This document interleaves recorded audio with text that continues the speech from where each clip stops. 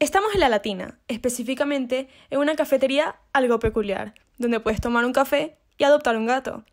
Hemos venido a la gatoteca. Parte del Neko Café japonés, hay muchos estilos. Esto no es un café con gatos, es un gatos con café.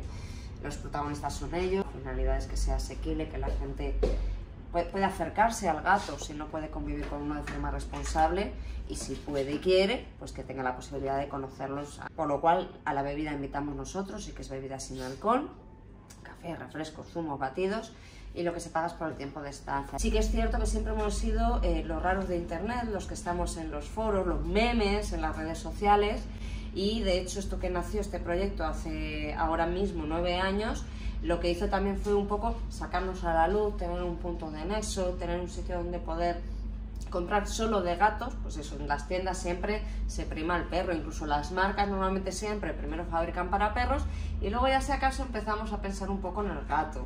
Eh, pero cada vez estamos más ahí, hay marcas que ya se dedican directamente al gato, que la gente que viene aquí entra, está lo que quiera, que sea la salida cuando se ajusta el precio de ese donativo. Y por supuesto que se reinvierte en sus gastos veterinarios, en su alimento, en su arena, en todo lo que necesitan. Entonces se distribuye un poco en función de eso, tampoco es solo los gastos veterinarios, es un techo sobre sus cabezas, el que en invierno tengan una calefacción. Hay muchas veces que tú sabes con la idea de quiero adoptar, luego te lo piensas mejor, es una forma también de evitar que sea compulsivo. Luego de ahí ya pasamos propiamente al proceso, que es hacerse socio de, de Abriga, hacer el curso básico del gato, que lo haces a tu ritmo, y ya propiamente la gestión de la adopción, que es quedar aquí físicamente, entregar cartilla, cambio de titular y, y, al gato, obviamente. No solo a adoptar un gato, sino a entender a su gato. ¿Qué quiere decir?